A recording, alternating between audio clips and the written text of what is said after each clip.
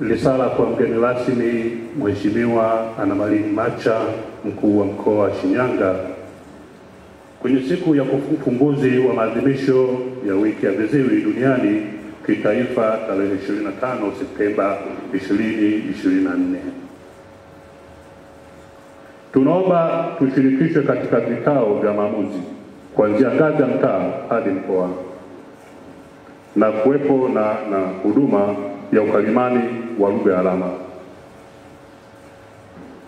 Pia tunaomba kupata fursa sawa kwenye ajira na elimu, jambo ambalo limekuwa likiwaweka liki pembeni na kuwapunguzia uwezo wa kushiriki kikamilifu vizuri katika maendeleo ya taifa.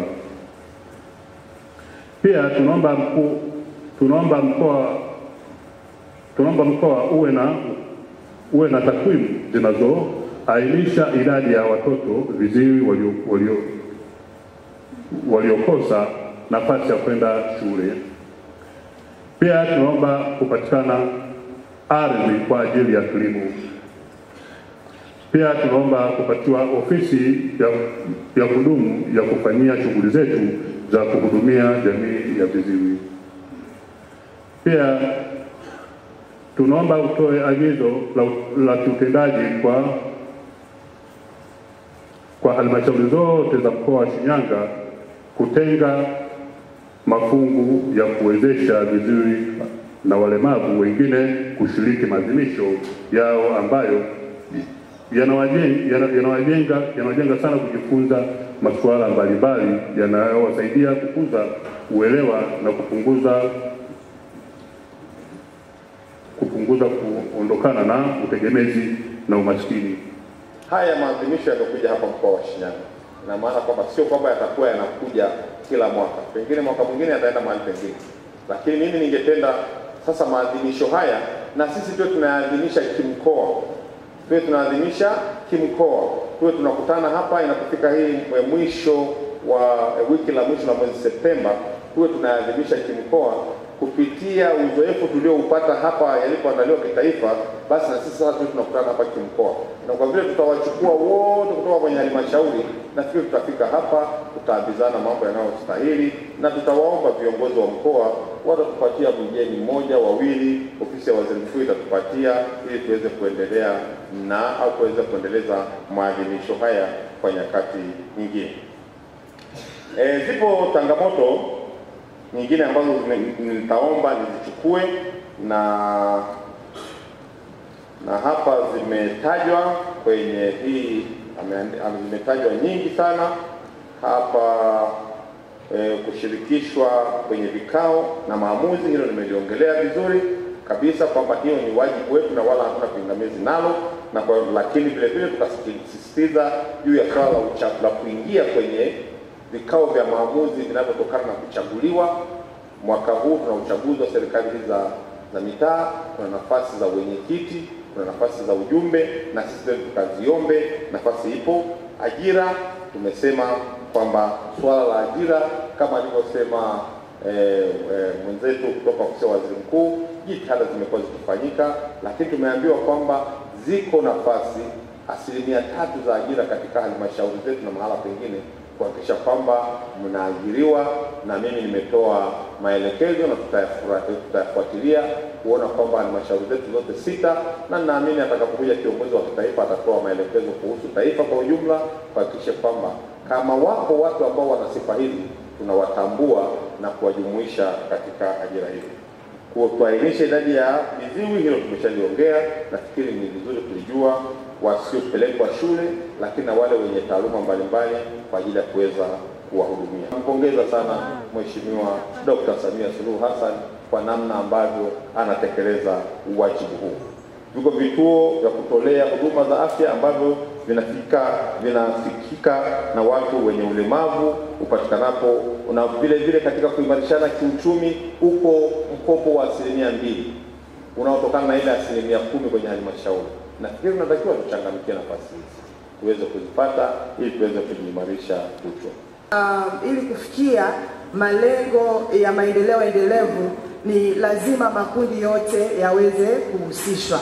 haijalishi ni mwanamke, ni mwanamme, haijalishi ni mtu mwenye ulemavu, lakini ili kufikia maendeleo endelevu ni lazima ujumuishwaji wa makundi yote husika uweze kufanyika kiukamilifu.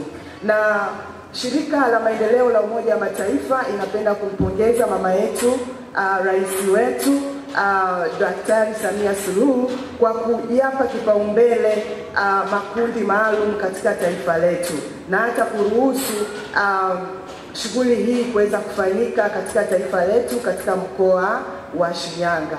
Na nichukue pia fursa hii kuweza kuwapongeza washiriki wote wa maadhimisho haya. Mwitikio nimeuona ni mkubwa, na niweze kuwapongeza pia wadau wote wa maendeleo ambao wamekuwa nyuma wakisapoti maadhimisho haya. Hebu naomba tuwapigie makofi. Kwa jina naitwa Wilfred Matu, afisa elimu elimu maalum kutoka halmashauri ya wilaya ya Iringa. Kikwazo kikubwa katika ushiriki wa wenzetu wenye changamoto ya kusikia au wenye ulemavu wa uziwi ni juu ya taaluma ya lugha ya alama kwa jamii. Lugha ya alama sehemu kubwa inafahamika kwa watu wenye viziwi na baadhi ya sehemu, na tunajua uchaguzi unashirikisha eneo la nchi nzima, kwa vijijini, mijini na maeneo yote kwa ujumla. Sasa kikwazo kikubwa ni lugha ya alama. Changamoto kubwa ni mahusiano. Lugha ya alama ni chache mno kwa wananchi.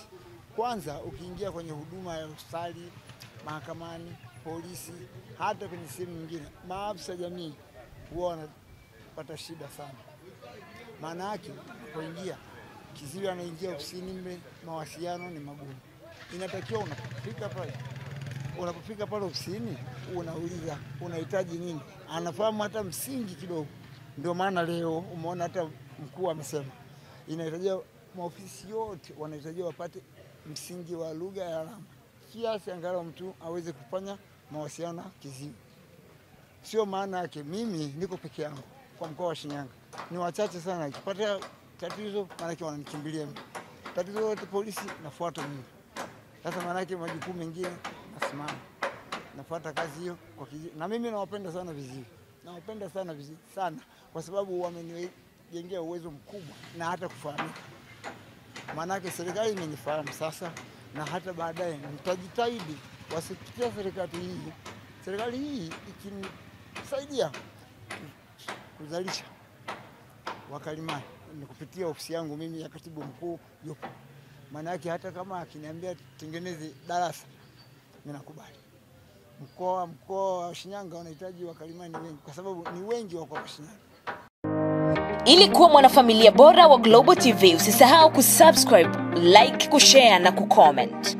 Baada ya kusubscribe, bonyeza alama ya kengele ili kupata taarifa kwa kila video inayopanda Global TV Online.